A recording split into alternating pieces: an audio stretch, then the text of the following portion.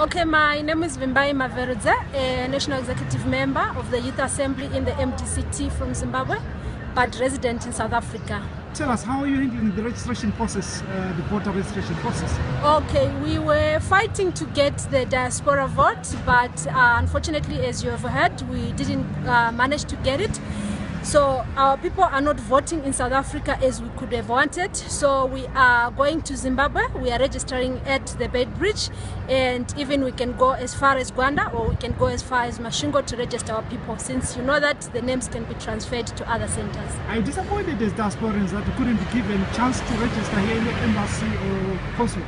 De- definitely, we are disappointed. Definitely, we are disappointed, but we are not to give up. We we knew that something like this might happen. We, we foresaw it, so we had Plan B, which is what we are implementing now. Then the electronic voting process. Are you are you quite positive it wouldn't? Uh, do you trust it? We, we, we have to trust the electronic voter process. Uh, as you know that the BVR is, is our baby.